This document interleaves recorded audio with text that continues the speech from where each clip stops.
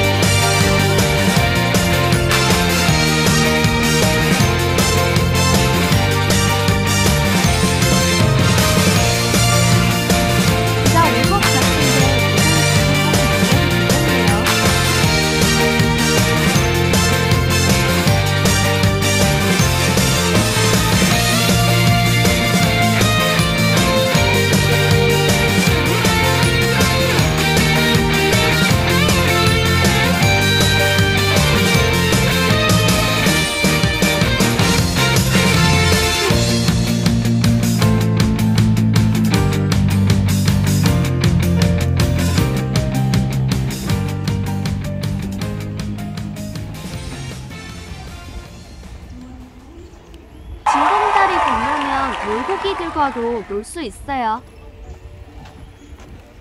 불암산 쳐다보고 이쁜 꽃 쳐다보며 다시 컴백홈 합니다.